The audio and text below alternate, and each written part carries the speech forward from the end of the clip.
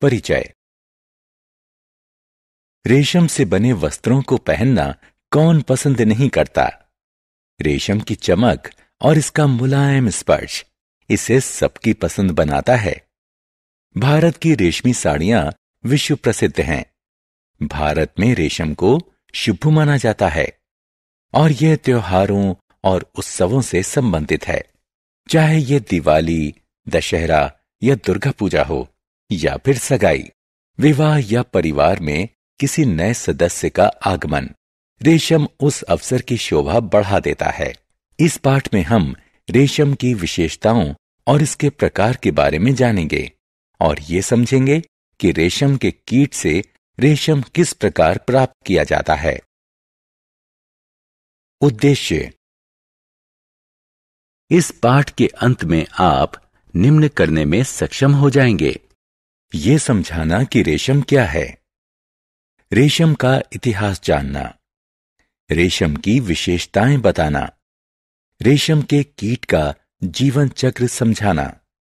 कोकूनों से रेशम प्राप्त करने की प्रक्रिया का वर्णन करना।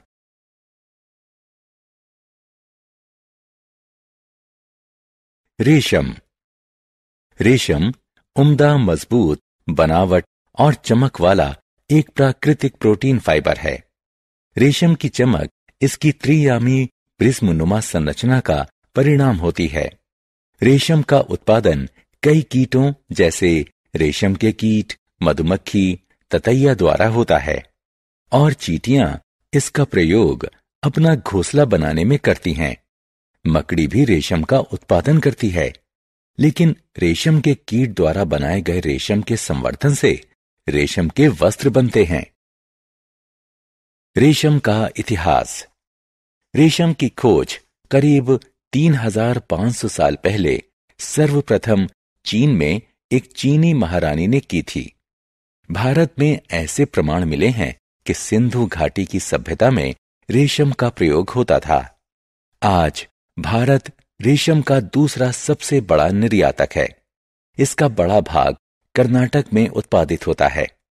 भारत रेशम का सबसे बड़ा उपभोक्ता भी है।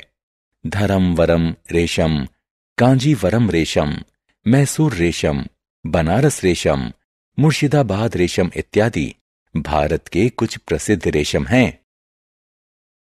रेशम की विशेषताएँ। रेशम मज़बूत और लचीला होता है। रेशम स्पर्श में मुलायम होता है। लेकिन फिसलन भरा नहीं होता। रेशम में चमक दमक होती है। ये हाइपो एलर्जिक होता है। इसका अर्थ हुआ कि यह मनुष्यों में कम एलर्जी पैदा करता है। रेशम नमी को सोख लेता है। रेशम गर्मी में ठंडा और ठंड में गर्म रहता है।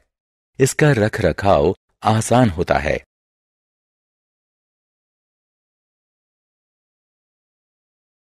रेशम के प्रकार टसर रेशम मूँगा रेशम और कोसा रेशम रेशम के विभिन्न प्रकार हैं। ये रेशम विभिन्न कीटों द्वारा काते गए कोकूनों से प्राप्त होते हैं। शहतूत रेशम रेशम की सभी श्रेणियों में सबसे प्रसिद्ध है और इसका उत्पादन शहतूत रेशम कीट से होता है, जो शहतूत के पेड़ पर पलते हैं। इन कीटों का पालन घर के अंदर होता है और इन्हें पूर्णतः पालतू बना लिया जाता है। ज़्यादातर व्यवसायिक रेशम शहतूत रेशम होता है। इस कीट के कोकून से प्राप्त रेशम मुलायम, चमकदार और लचीला होता है और इसे सुंदर रंगों में रंगा जा सकता है। रेशम कीट का जीवन चक्र। एक रेशमी कीट का जीवन अति सूक्ष्म अंडे देने से शुरू हो जाता है और एक सुंदर कीट के निकलने के साथ समाप्त होता है। आइए रेशम कीट के जीवन के विभिन्न चरणों को देखें। मादा रेशम कीट गर्मियों के अंत में छोटे अति सूक्ष्म अंडे देती है। बसंत तक वे सुप्त रहते हैं। बसंत आते ही इन अंडों से छोटे काले लार्वा निकलने लगते हैं।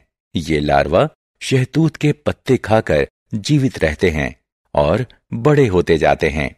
इसके बाद वे अपने चारों तरफ़ रेशम का एक सुरक्षात्मक कोकून काटते हैं। ये कोकून सफ़ेद और सुनहले रंग के होते हैं। कोकून के भीतर लार्वा प्यूपा में परिवर्तित होता है। लार्वा प्यूपा में परिवर्तित होते हुए कुछ भी नहीं खाता।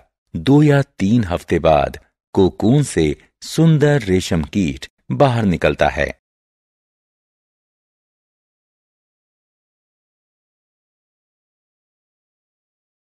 कोकून से रेशम। रेशम को कोकून से संसाधित किया जाता है। एक बार रेशम कीट अपने चारों तरफ़ सुरक्षात्मक कोकून काट लेता है। फिर इन कोकूनों को रेशम के फाइबर को कीट से अलग करने के लिए गर्म पानी में उबाल लिया जाता है। प्रत्येक कोकून एक रेशम के तागे से बना होता है। युक्ति है कि तागे का एक सिरा पकड़ लिया जाए। इसके बाद कोकून से रेशम का तागा छुड़ाना आसान हो जाता है। कोकून से रेशे निकालने की प्रक्रिया को रीलिंग कहते हैं। इन रेशम के तागों का प्रयोग रेशम के वस्त्र बनाने में किया जाता है।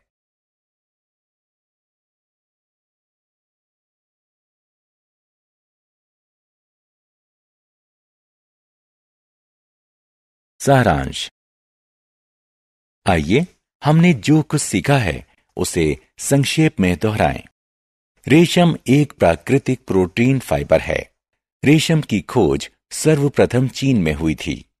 रेशम मज़बूत और मुलायम होता है। रेशम कीट रेशम के कीड़े का लार्वा होता है। रेशम फाइबर रेशम कीट द्वारा काता गया कोकून होता है।